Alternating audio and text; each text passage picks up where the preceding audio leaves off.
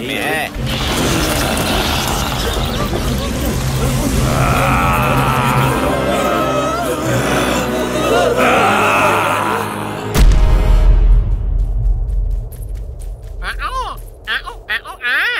क्या?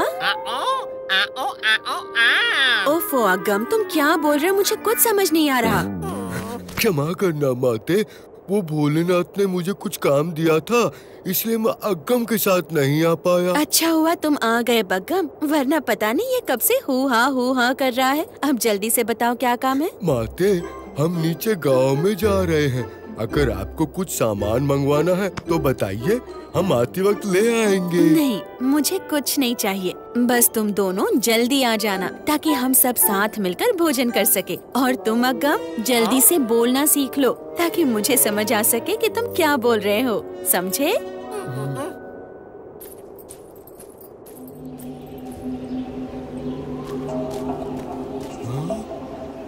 अरे कोई है? कहाँ गए सब? कोई है? यहाँ के लोग ज़रूर किसी मुसीबत में फंस गए हैं। तुम वहाँ ढूंढो मैं जंगल की तरफ़ जाके ढूंढता हूँ।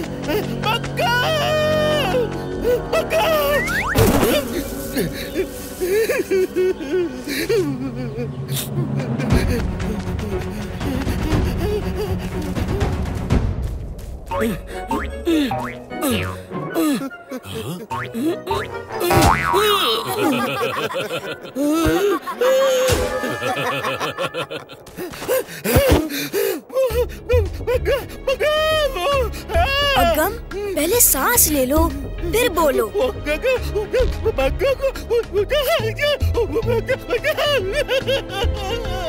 अगम, तुम जाके बग्गम को बुला लाओ। हमें कुछ समझ नहीं आ रहा। तुम क्या कह रहे हो? नंदी, ब्रिंगी, मूषक, चलो। लगता है बग्गम किसी मुसीबत में फंस गया है। अगम, उठो और बताओ तुमने आखिरी बार बग्गम को कहाँ देखा था? नंदी, ब्रिंगी, मूषक, तुम सब अलग अलग दिशा में जाओ और बग्गम को ढूंढो। अगम, तुम मेरे साथ चलो।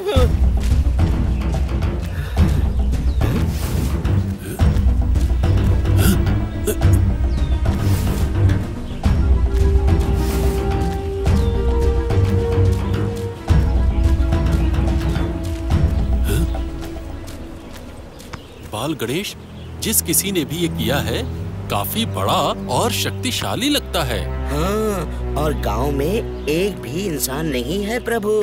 बचाओ बचाओ बचाओ बचाओ। वो मुझे मार डालेंगे वो मुझे मार डालेंगे। कौन मार डालेंगे? वो, वो, वो पहाड़ी के पीछे। नहीं नहीं वो मुझे मार डालेंगे मार डालेंगे।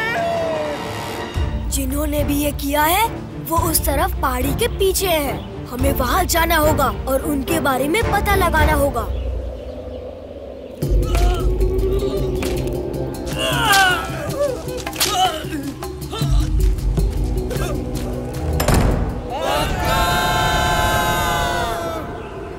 ये तो पाताल भैरवी के राक्षस है पर ये सबको बंदी बनाकर क्यों ले जा रहे हैं? मुझे शंका है ये ज़रूर इन सब लोगों की बलि चढ़ाने वाले हैं। देखो पाताल भैरवी के राक्षस बहुत ही शक्तिशाली है। चाहे कुछ भी हो जाए हमें उनका सामना डट के करना होगा। नंदी तुम दक्षिण से हमला करोगे भृंगी तुम उत्तर से और अगम तुम पूरब से। प्रभु मुझे क्या करना होगा? जब देखो तब मुझे ही फंसा देते हैं। इतने बड़े राक्षस का सामना करने मुझे ही भेज दिया, वो भी सामने के द्वार से। हम्म?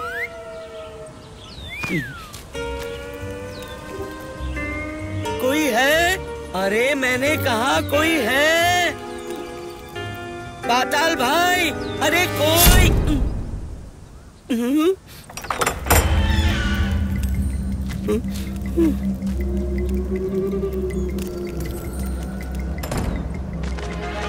ओम ह्रीम श्रीम ओम ह्रीम श्रीम ओम ह्रीम श्रीम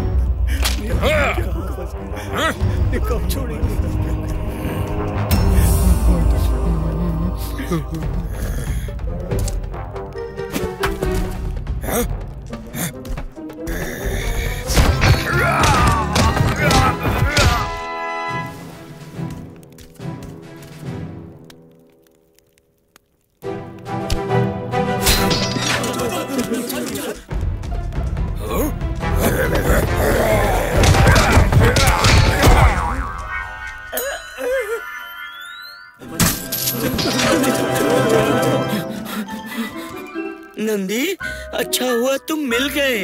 ये तो बड़ी भयानक जगह है।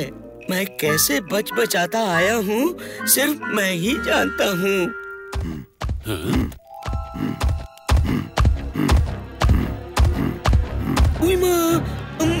इतना बड़ा राक्षस। देखो राक्षस, चाहे तो हम तुम्हें मार मार के समझा सकते हैं, या फिर तुम चाहो तो हम तुम्हें बड़े प्यार से बात करके भी समझा सकते हैं। बोलो, क्या पसंद है तुम्हें?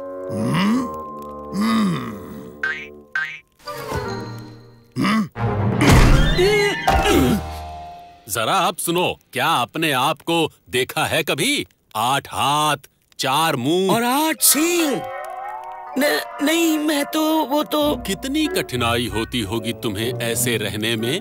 और तुम पाताल भैरवी का साथ दे रहे हो जो सिर्फ़ अपने स्वार्थ के लिए काम करता है। उसकी ज़रूरत खत्म हो जाएगी तो वो तुम्हारी मदद बिल्कुल नहीं करेगा। अगर तुम बाल गणेश की शरण में आ गए तो वो तुम्हें माफ़ कर देंगे और एक अच्छा इंसान बना देंगे। कुछ समझ में आया तुम्हें?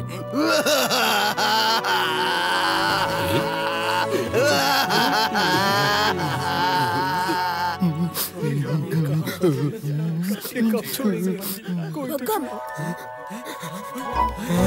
बाल गणेश हुक्म तुम लोगों को बाहर निकालो मैं इन्हें देखता हूँ।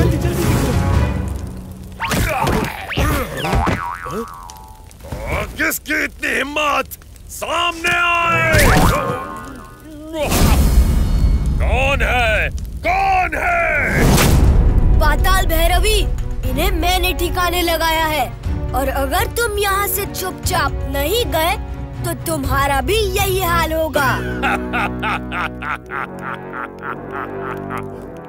बाल गणेश बाल गणेश, शिव का पुत्र, बाल गणेश। मेरे तो भाग्य ही खुल गए। मैं तो इन निर्बल और कमजोरों की बलि चढ़ाने वाला था। लेकिन अब मैं तुम्हारी बलि चढ़ाऊँगा और सबसे ज़्यादा शक्तिशाली बन जाऊँगा। फिर पृथ्वी लोक देवलोक और कैलाश पर राज करूँगा। राज!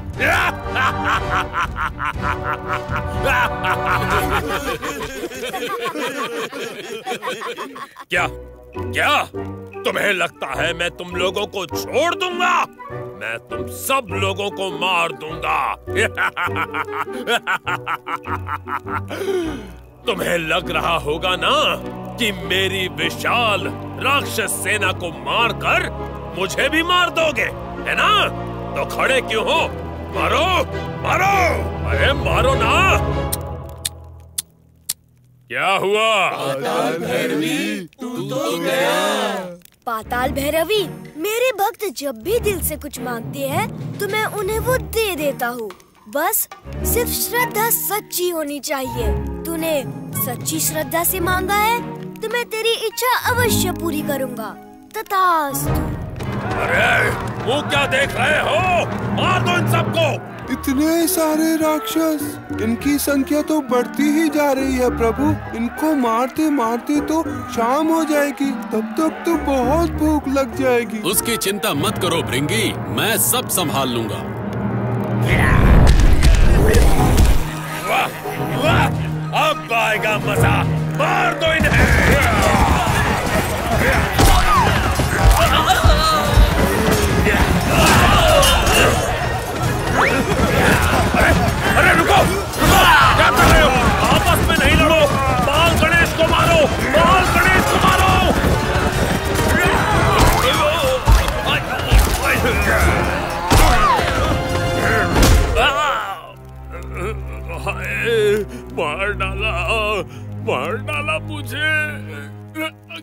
क्या नहीं किया मैंने इनके लिए। और आज मुझे हाय मेरी कमर बाल गणेश मैं मैं तुम्हें नहीं छोड़ूँगा। अच्छा हुआ तुम्हारे देतियों ने ही तुम्हें ठिकाने लगा दिया। अब बाकी का काम मैं ही पूरा कर देता हूँ। तुम्हें पाताल लोग बेचकर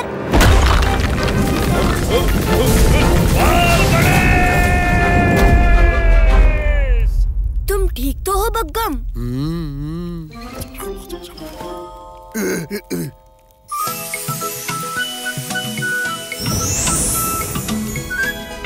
बाल गणेश की जय। बाल गणेश की जय।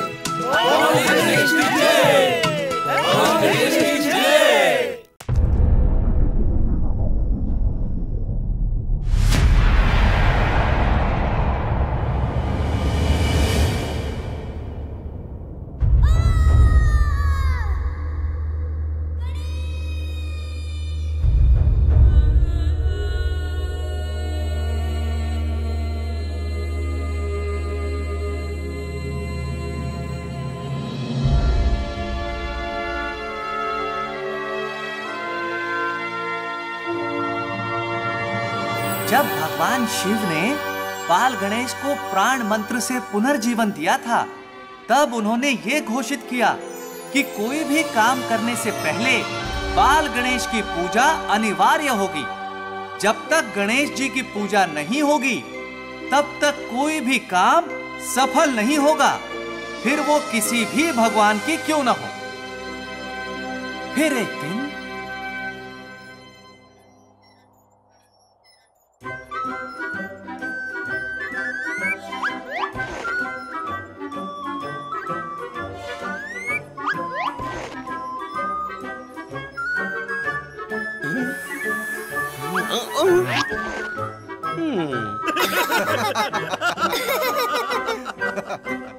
प्रभु आप भी मुझे सता रहे हो इन लोगों की तरह। अच्छा तो अग्गम बगम और ब्रिंगी तुम्हें सताते हैं वो कैसे?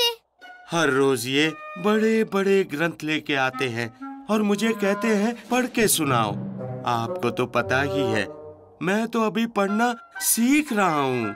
और जब मैं ठीक से नहीं पढ़ पाता तो ये सब मुझ पे हँसते हैं।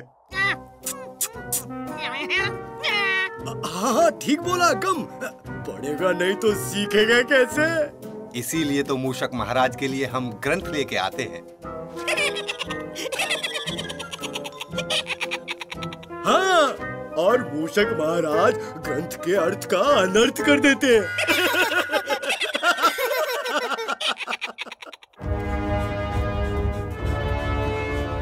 ये नंदी क्यों भागा चला आ रहा है? प्रभु प्रभु। क्या? त्रिपुरा नगरी पर आक्रमण? इतनी पवित्र धरती पर राक्षसों का आक्रमण? नंदी, सभी गणों को युद्ध के लिए इकट्ठा करो। हम स्वयं त्रिपुरा नगरी को बचाने जाएँगे।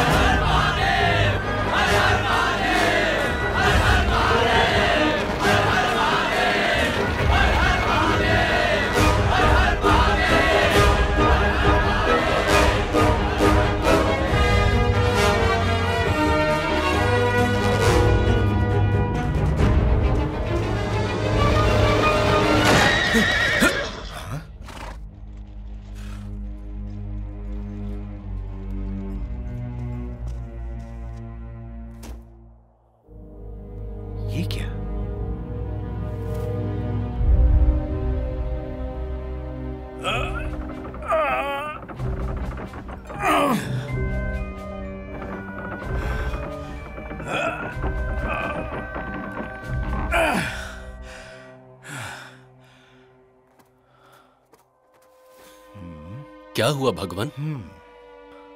भगवान? नंदी मैंने मैंने एक भूल की है। भूल? आपसे? हाँ नंदी मैं गणेश का नाम स्मरण करना भूल गया। मैंने ही कहा था कि कोई भी कार्य आरंभ करने से पहले गणेश की पूजा करना आवश्यक है। और मैं स्वयं ही भूल गया। तो हमें अपनी भूल सुधारनी होगी प्रभु। वक्रतुंड महाकाय। सूर्यकोटि समप्रभा। निर्विघ्नं कुरु मे देव। सर्व कार्येषु सर्वदा।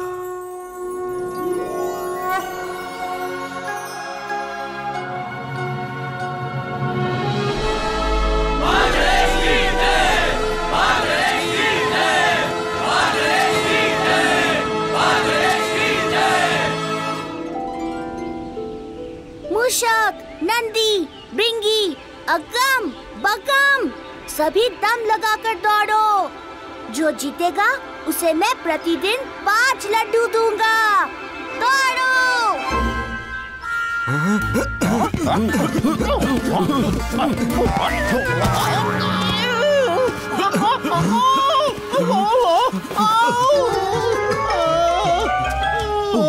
तुम्हें चोट तो नहीं लगी, अग्गम?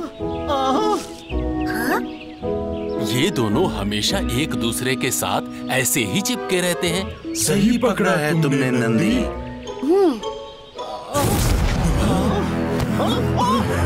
और मैंने भी सही पकड़ा है इसे। ये तूने सही नहीं किया दुष्टासुर इसका परिणाम तुझे भुगतना ही पड़ेगा। परिणाम? कैसा परिणाम? ये तो तुम्हें बग्गम ही बताएगा। मैं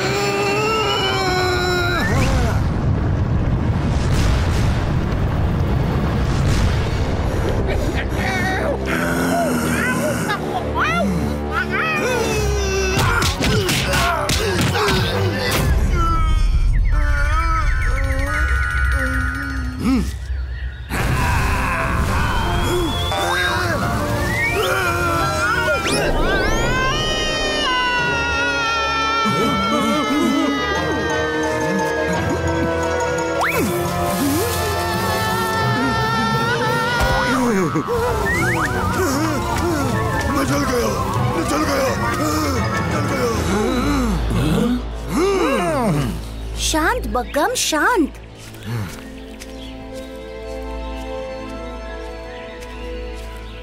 प्रभु बग्गम अगम को मुसीबत में देखकर गुस्से में क्यों आ जाता है? इसके पीछे एक कहानी है। अग्गम और बग्गम बचपन से ही बहुत अच्छे दोस्त थे। दोनों के माता पिता महादेव के बहुत बड़े भक्त थे।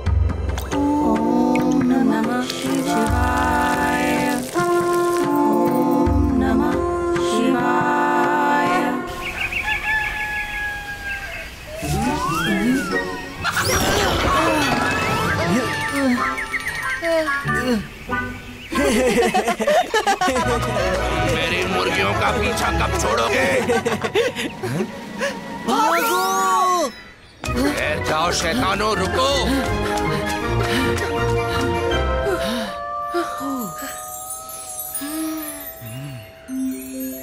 वाह सब्ज़ियाँ देखकर मुँह में पानी आ गया मित्र।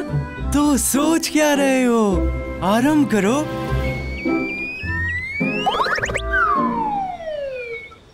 अब तुम अपना कार्य आरंभ करो।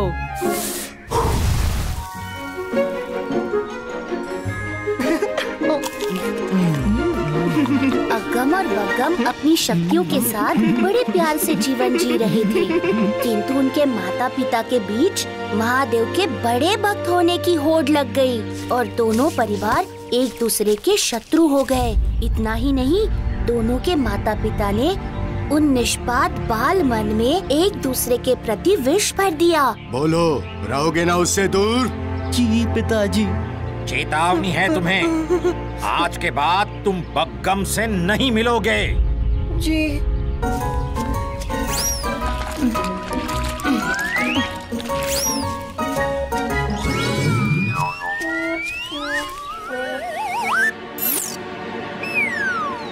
मुझे तुम्हारी बहुत याद आ रही थी बग्गम मैं संध्या काल में मैदान में आऊँगा। तुम मिलोगे ना मुझे वहाँ? तुम्हारे पिताजी ने सही नहीं किया अगम। वो मेरे पिता से बड़े महादेव भक्त नहीं हैं। हमें अब नहीं मिलना चाहिए। बग्गम इसी बीच असुरों की सेना ने गाँव पर आक्रमण कर दिया। असुरों की सेना ने आक्रमण कर दिया? फिर क्या हुआ प्रभु? चारों तरफ़ त्राही त्राही मची हुई थी।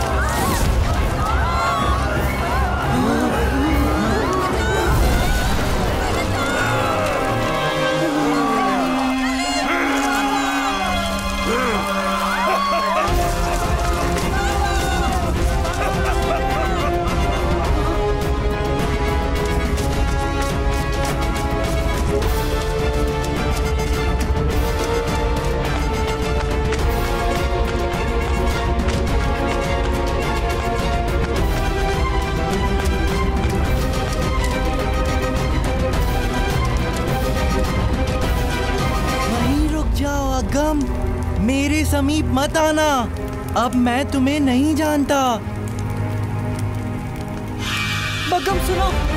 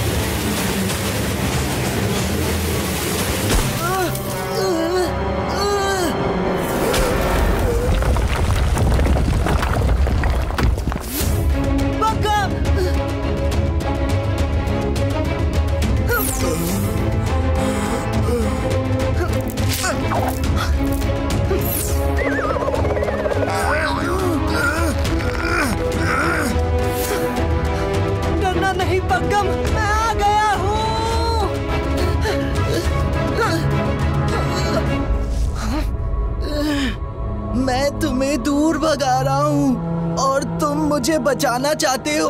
क्यों अगम? क्यों क्योंकि तुम मेरे अपने हो।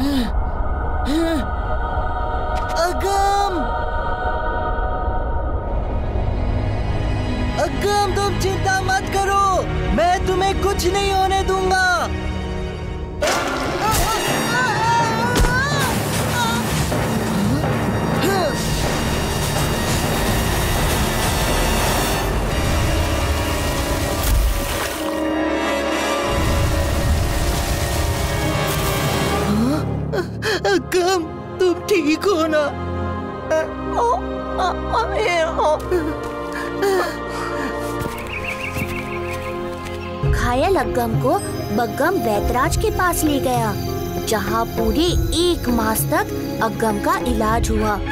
और उस एक मास में बग्गम ने दिन रात अग्गम की सेवा की। उसकी कही हर बात का बारीकी से अध्ययन किया, जिसके फलस्वरूप वो अग्गम की नई भाषा सीख गया।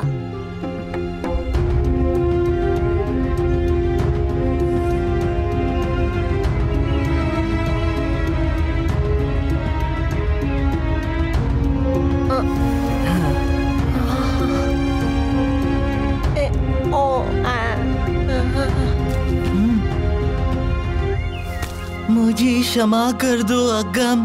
मेरी वजह से तुम्हारी जीवा को